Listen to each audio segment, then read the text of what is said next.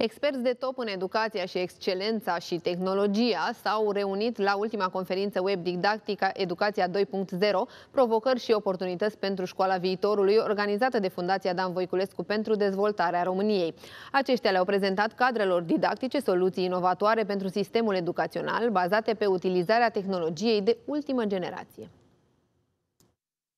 Marian Staș, expert în educație și profesor român la Harvard, a prezentat un program de învățare revoluționar prin care elevii pot alege singur materiile de studiu. Formula prezentată de acesta a fost preluată de câteva școli din România.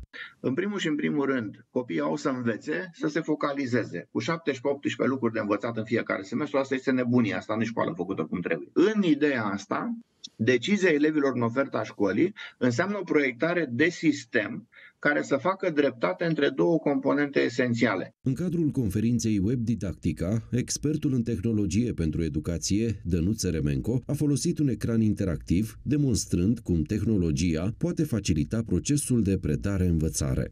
Suntem la lecția de matematică și am ajuns la teorema lui Pitagora. Am scris numele ca titlu o să iau din nou creionul, ba chiar o să schimb culoarea. Ok.